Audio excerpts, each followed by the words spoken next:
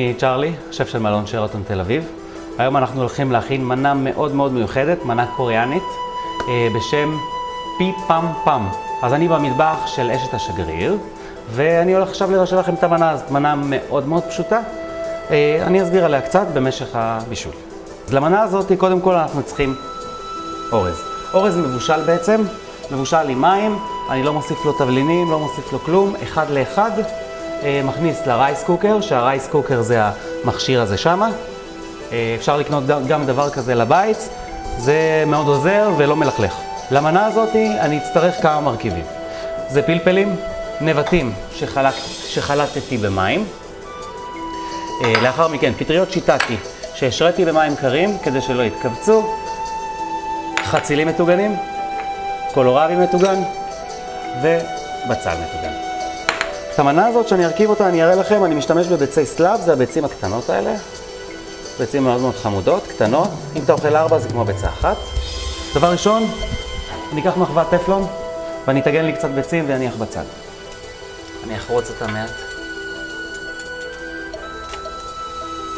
ואניח.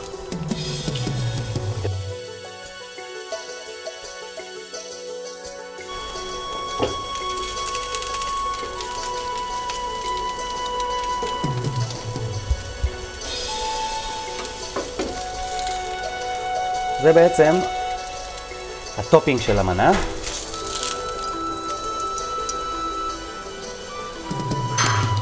אוקיי, נהדר. אז יש לנו פה את הביצה אצלם.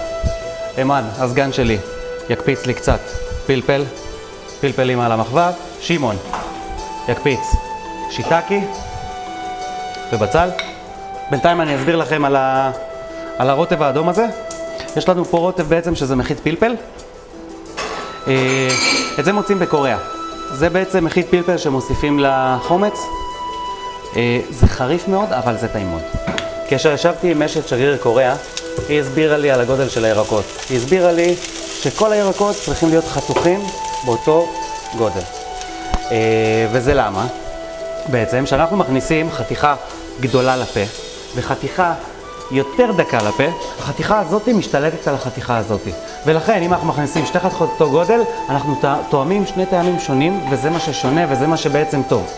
שאף ירק לא יגנוב את ההצגה של השני. אז אה, זה בעצם הסוד שלה.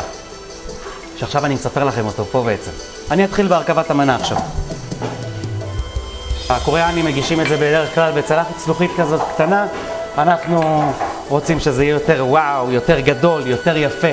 אז אני לוקח צלחת הרבה יותר גדולה, ואני אניח בצלחת הזאת את האורז. בשפה שלהם זה סטיקי רייס, כמו שאתם רואים, לא, זה לא אורז אה, שמתפרק כמו האורז שאנחנו רגילים אליו, הוא יותר דבוק.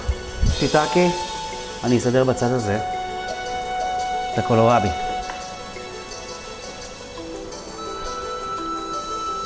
ניתן אותו כאן, פלפלים בצבעים. נסדר כאן. ואת הבצל המטוגן נסדר כאן. כמובן, את החצילים שתגענו למפרע,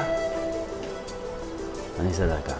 אז יש לנו מנה בעצם מאוד מאוד צבעונית, ביצת עין מסלב, נפזר מעל קצת שמן סומסום, זה נותן את הניחוח, את הטעם הסופי של המנה. לאחר מכן, את הפלפל. מחית פלפל שערבבנו עם חומץ. זה רוטב מעט חריף, אבל טעים מאוד. חשוב לציין שהקוריאנים מאוד אוהבים להשתמש בניגוד טעמים. ומה זה ניגוד טעמים?